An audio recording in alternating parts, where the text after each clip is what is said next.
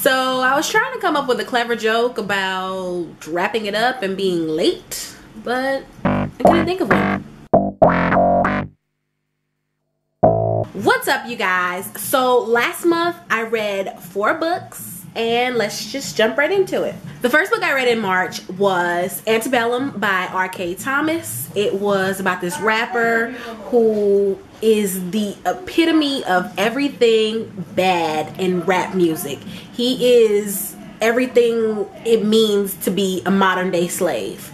And he gets shot and when he gets shot he wakes up in slavery. This book was graphic. It was gruesome. It was long and drawn out and over the top and extra where it didn't need to be extra and i loved it. I i truly love this book. It, it was just so good. So i gave this book five stars. The next book i read last month was every day by david levithan and it is about a a is a body jumper and a meets this girl one day and then a is like i don't want to body jump anymore because i love this girl and i want to be with her. So i'm reading this book right? And it's really good. It has a lot of good meaning to it and the story is progressing and then i get to the end and i'm like where's the rest? It, it, it's over and I don't mean that in a good way. I don't mean that I wanted more in a good way. I mean that there was there was no more. There needed to be more, but there was no more. And I had a lot of unanswered questions about that book. It was just like he, no rating. Just no rating. And the last two books I read last month were Legend and Prodigy by Marie Lu, and they were awesome! Like, why did I wait so long to read Legend? Yeah, and I'm probably gonna make some people mad, but I really did like Legend a lot more than I liked Divergent. I don't know why. Yes, I do, because I liked June and Day better than I liked Tris and Four.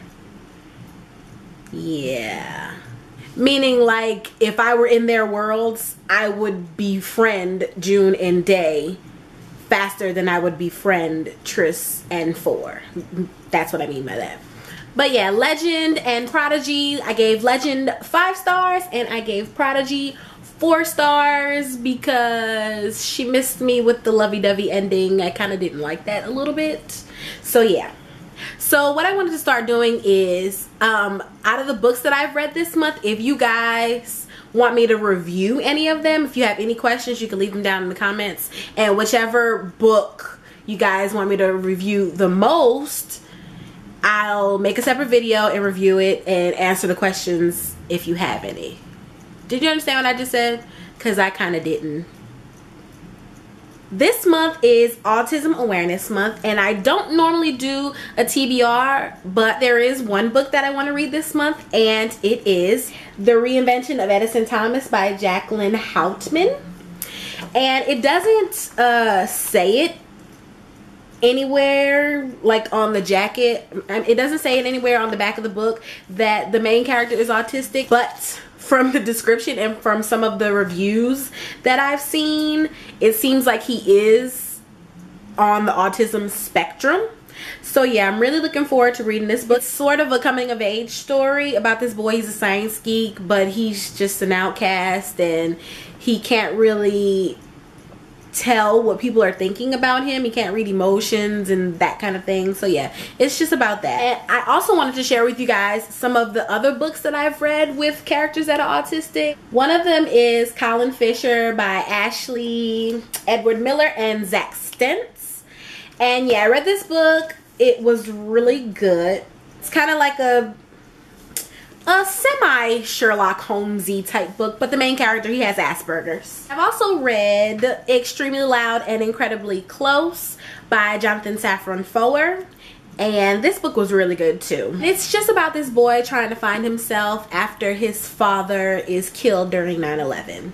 And he is also autistic. Um, if you guys know of any good books about children with autism, just let me know down below and I will be glad to check them out because I've been looking for some, but I haven't found that many. So yeah, that's all I have for you guys today. If you have any questions, comments, concerns, leave them down below in my belly, and I will talk to you guys later.